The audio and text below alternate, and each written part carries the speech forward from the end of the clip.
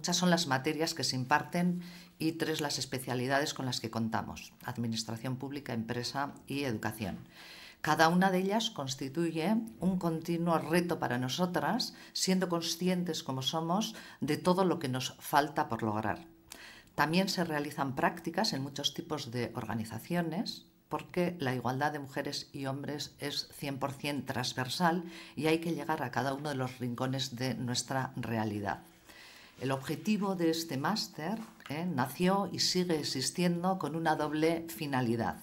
Disponer de un alto grado de conocimiento de la realidad institucional, social y técnica y como consecuencia de ese conocimiento poder proponer fórmulas y estrategias de cambio a todos los niveles, tanto técnica como socialmente.